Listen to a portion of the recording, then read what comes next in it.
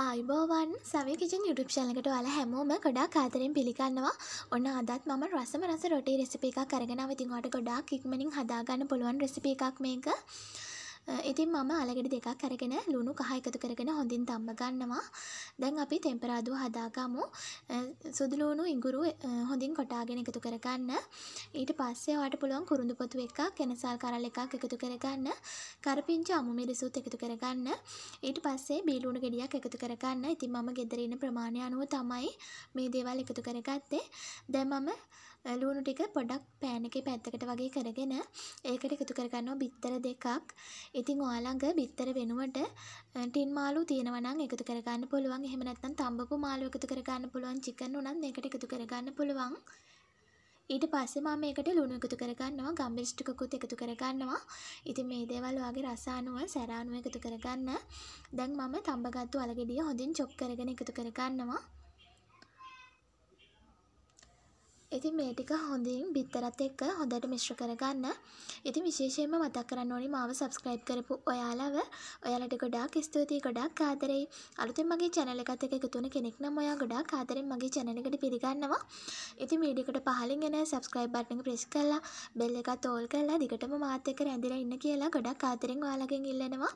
දැන් ඔයාගේ රස අනුව සැර අනුව කෑලි මිරිස් එකතු කරගන්න. මං අද මේකට එකතු කරගත්තේ ලූණු කොළ. ඉතින් ඔයාලඟ ලීක්ස් තියෙනවා නම් ලීක්ස් උනත් මේකට එකතු කරගන්න පුළුවන්. දැන් අපි මේක හොඳින් කලවම් කරගෙන විනාඩි දෙක තුනක් තියාගෙන ලිපෙන් ඉවත් කරගමු. දැන් අපි රොටියට අවශ්‍ය කරන පිටි ඩෝ එක හදාගමු. මම මෙතෙන්දි පිරිස කෝප්ප දෙකක් පාන් පිටි එකතු කරගන්නවා.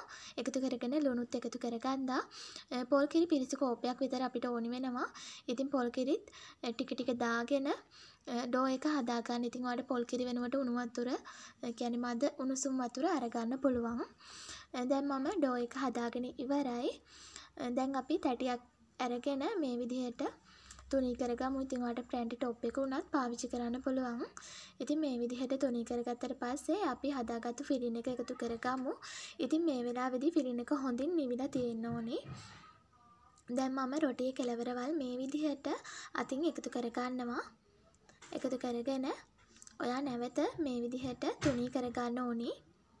ඉතින් මේක රසම රස රොටි එකක්. ඉතින් ඔයාට එක එක ගානේ හද හද ඉන්න ඕනේ මේ විදිහට රොටිය හදලා ගත්තාම ඔයාගේ ගෙදර ඉන්න ප්‍රමාණය අනුව කෑලි කපලා ගන්න පුළුවන්. ඉතින් ගොඩාක් ලේසි මේක. ඔන්න දැන් අපි රොටිය පුච්ච ගමු. රොටිය පුච්ච ගන්න භාජනයක් ලිපේ තියාගන්න.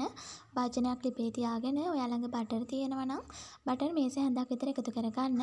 එකතු කරගෙන රොටිය එකතු කරගන්න. ඉතින් ඔයා ළඟ බටර් නැත්නම් ඔයාට පුළුවන් එකතු කරගන්න පොල් තෙල් මේසේ හැන්දක්. ඉතින් මෙන්න මේ විදිහට දෙපැත්ත හරව ගනිමින් ලස්සන පාටක් එනකන් රොටිය පුච්ච ගන්න ඕනේ. ඉතින් මේ දේ ඔයා මද ගින්දරේ කරගන්න. ඉතින් මේ තියෙන්නේ මම රසම රසට හදාගත්තු රොටි එක. ඉතින් මේක දෙපැත්තම හොඳට පිච්චිලා තියෙන්නේ. දැන් අපි කෑලි කපමු. ඉතින් මේ රොටි එක 6 දෙනෙකුට සෑහෙන විදිහට තමයි මම හදාගත්තේ. ඉතින් කෑලි 6ක් කපා ගත්තා ලොකු කෑලි. ඉතින් අද මම මේ රොටි එක කෑවේ තක්කාලි සෝස් එක. ඉතින් මාරම රසයි. අනිවාර්යෙන්ම ඔයා හදලා කමෙන්ට් එකක් දාන්න රස කොහොමද කියලා. ඉතින් අපි මෙවැනි රසවත් වීඩියෝ එකකින් නැවත හමු වෙමු. මගේ වීඩියෝ එකට ආරම්භුවට ඔයාට ගොඩාක් ස්තුතියි.